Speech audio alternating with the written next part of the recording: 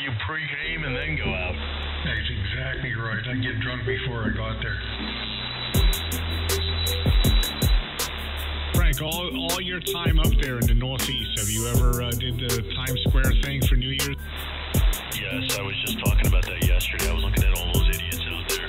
My daughter goes, you know those disgusting people wear Pampers? I'm like, because there's nowhere to go to the bathroom. It's like the worst place in the world. I think I was like 18, and we were a bunch of us. We were getting ready. Midnight. Ball drop. It was misery. It was so cold, and then we went clubbing and got home the next afternoon. And you had more fun after you went clubbing. Oh, you broke it Yeah. Yeah, it's amazing. I remember. That's what she said. Yeah, late night parties in the city, man, were awesome.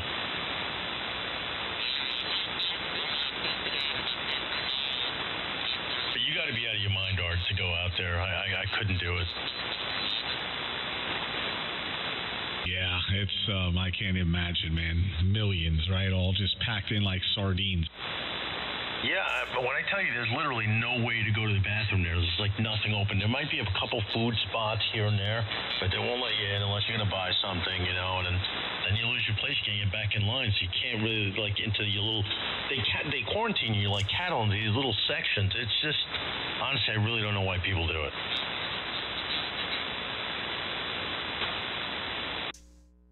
because it makes them feel special. Yeah, screw that.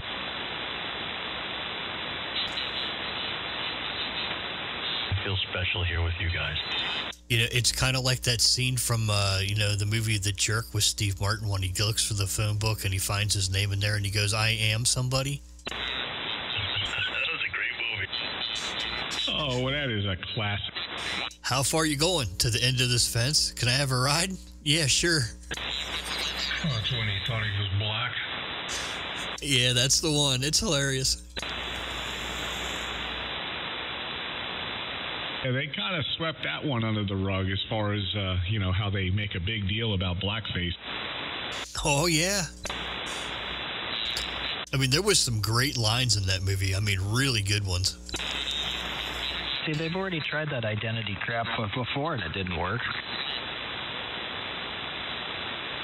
I mean, come on. I mean, his brother is the only one that got the, you know, sitting there reading the note from from him at the carnival about the uh, the chick that picks him up, you know, on the motorcycle and and says, "Well, I'm not going to repeat it on the air, but uh, tomorrow I'll give you a job."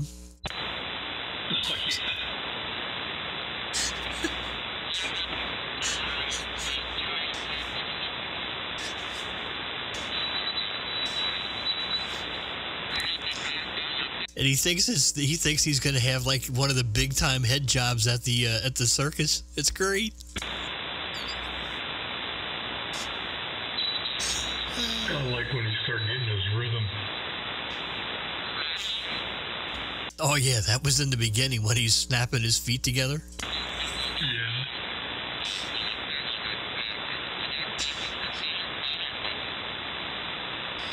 What's he say? I found my purpose. Is that what he says? That's what he said. It's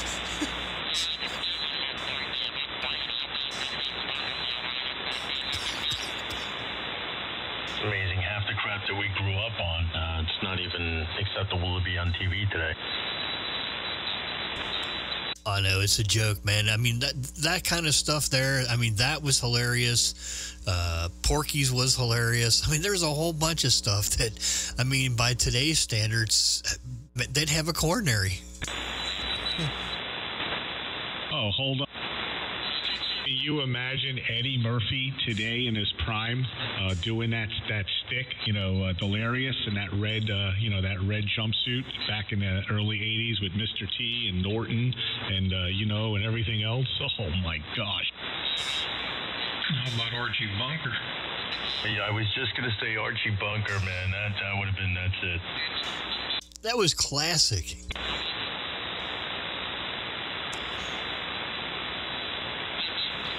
Hell, those the people today would have been upset with Sanford and Son.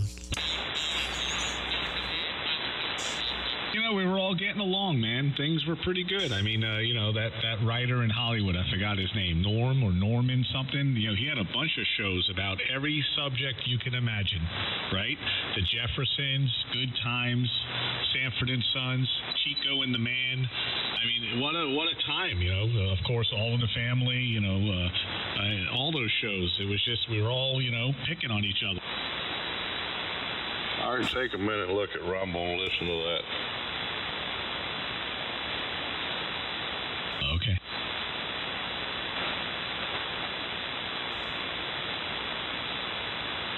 So what radio are you playing around with these days, Rick? Um, uh, Frank, I have the uh, I have the herpes-like complex syndrome too. Oh, nice. How do you like it? I love it, man. It's a killer rig for 500 bucks. Yeah, for the money, it's uh, you can't beat it. Now I'm running it with a uh, one of the Australian VK amps. You know, uh, it's set up for low drive, so you know, two and a half, three watts, three and a half watts in. KW are a little more out. It's pretty good, yeah. A lot of bang for your buck on that radio, man. You know, I mean, it's, uh, it's uh, you, you kind of can't beat it. I think, honestly, it, for for the value, it beats anything that's out there. Honestly, I, I'd say it beats some of the more expensive radios out there. Oh, it does. I mean, uh, you know, there's you got you got pure signal. You got everything that you got in Thetis works on it. You know, with with the exception of diversity because it's a single ADAC and you don't have six meters. You know, there's there's a few things that are lacking from it, but I mean, for five hundred dollars, uh, you really don't got much to complain about, and it certainly will put radios that are 1800, 2000, 2500 to shame. Yeah, I would agree. Yeah, it's a, it's a good little rig, man. I mean, yeah, obviously doesn't have all the filtering and everything else, but I mean, again, for 500 bucks, you cannot beat that.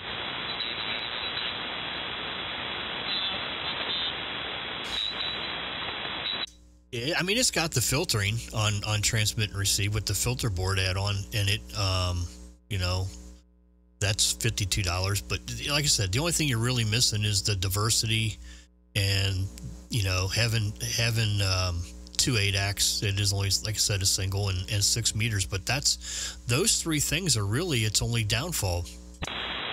What's the bandwidth on the panadapter? Um, well, that's okay. So that's one other thing. It it'll go to 38 uh, 38 400 on the panadapter view, but the uh, and I know the ANANs will go to uh, like I don't know three or four times that. Um, the problem with that is you can only run pure signal at 1900 or less. So, um, you know, you lose a little bit of the viewable bandwidth, but I mean, again, for the price, eh, who cares? Yeah, I agree. You can't. Yeah, it's not a comparison. Obviously, I mean, from a price perspective, you know, you get a lot. Yeah, good. A lot of guys having success with it, man. It's gaining popularity like crazy. Almost everyone you talk to is on one. Yeah, I know. I keep telling people when I get on the air and you know, and I talk about my herpes that I'm going to have to start wearing a condom on the air.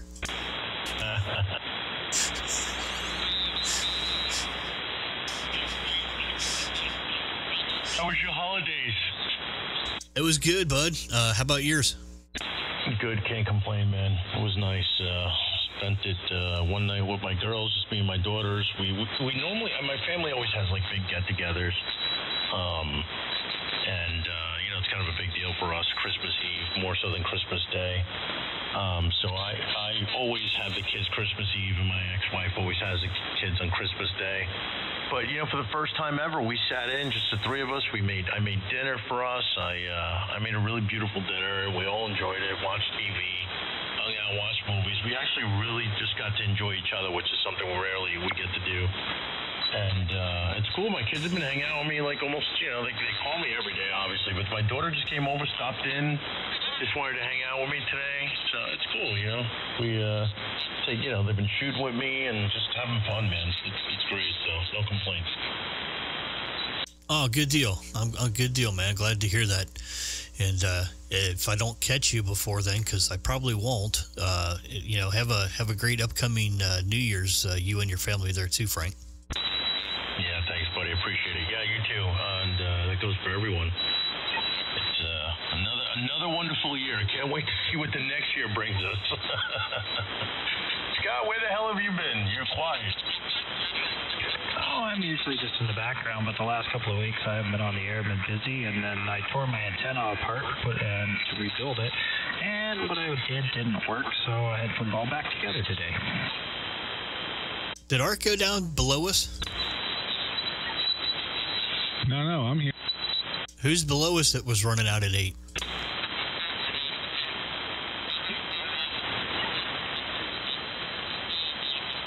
Oh, somebody, you're saying somebody's AK?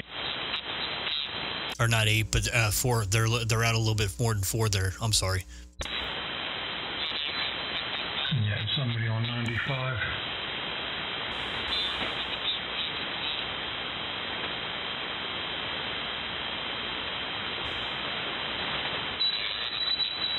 Yeah, I tried to lengthen my antenna there, Frank, and uh, last week, and it didn't work, so I had to put it back. Buddy, it's nothing worse, right? And wait until this time of the year, right? We don't, we don't do it in the heat uh, or when it's nice and mild. We wait till winter. I said I, I bought all this wire. I'm going to put my loop back up. I have a, a this antenna where it works, it works really, really well, and where it doesn't, it just doesn't work. There's so many lobes in this antenna that it's time to put the loop back up. So, but you know, I got the wire there. I've been busy, and you know, it'll, it'll I have to wait till snow is on the ground to start project. It's working good here, Frank.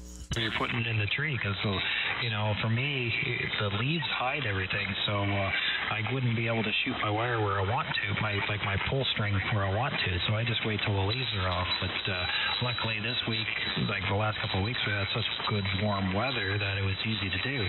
Now I can't say I was successful in what I was doing. I did lose uh, what three three shot balls in the the shot bags in the trees while I was trying to do all this crap, and uh, so I got to wait for the storms to bring them down for me. Frank, whatever you're using now is uh, is working. It's working well. You got a nice signal here. pull them back down and and just uh, loop the antenna through. But it's tricky because of the layout, so things get stuck in trees, and you gotta I, I gotta remember which antenna line's got to go up first before the other one. Otherwise, things get snagged. It's a major pain in the uh, PIA. Oh yeah. Like I had, I had success getting the third thing up, but I just couldn't get the thing to tune, so I gave up and put it back.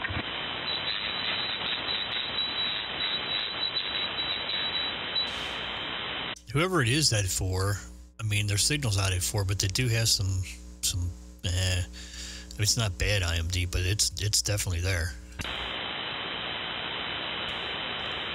Yeah, I think he's got the TTBF thing going on the Yaesu. Oh, okay.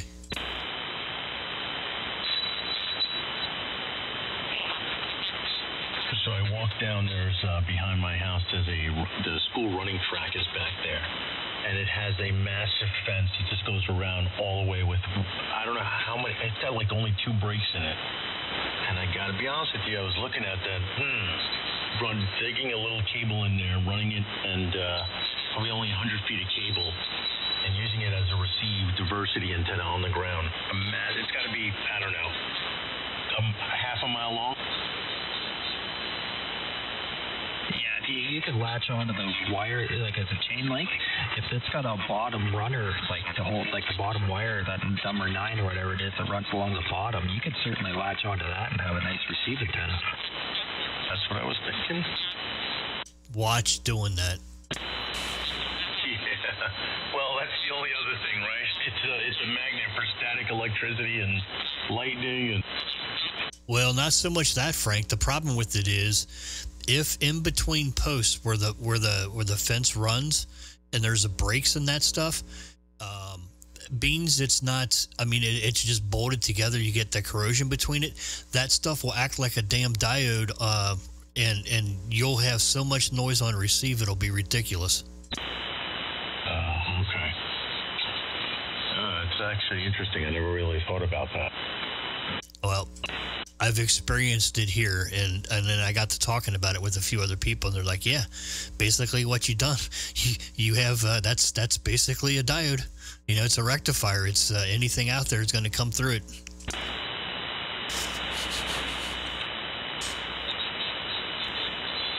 Yeah, let me. Uh, yeah, I mean, listen, it's uh, it's only wire. I'll give it a whirl. See, I mean, it'd be nice to have a nice low to the ground antenna, right? You know, things only four feet in total height.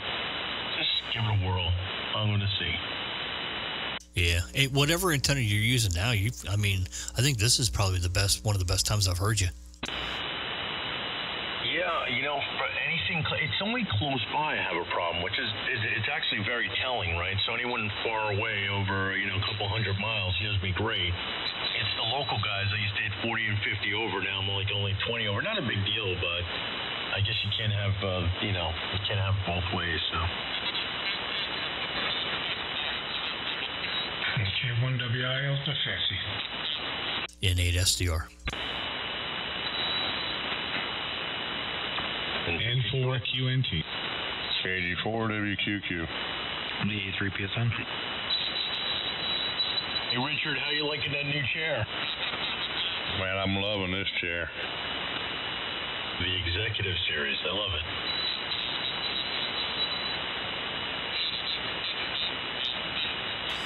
So I'm going to post this video, I think, Man, because here's a uh, really good example. Tonight, I want to hear the uh, the new audio.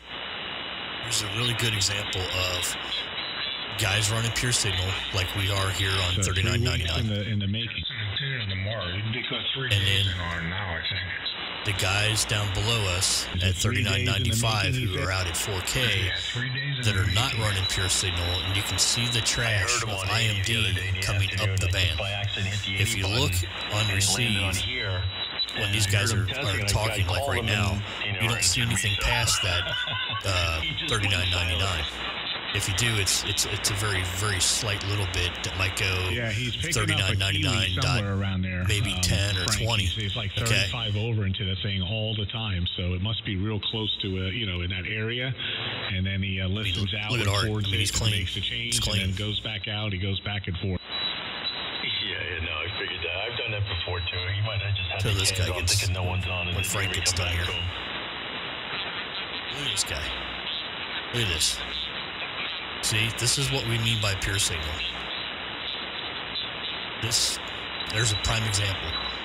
All right, I'm going to stop this video so I can send this link to Art, and I'm probably going to post this anyways.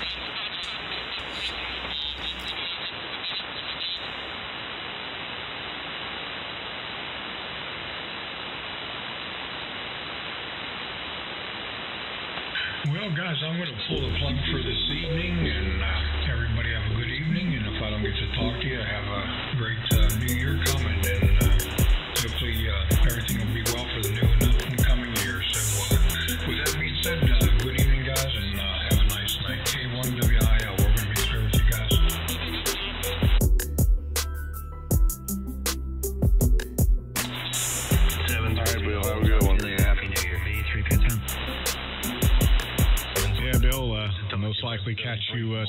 tomorrow, maybe in the morning. So uh, until then, seven three from N4QNT. But uh, great catch.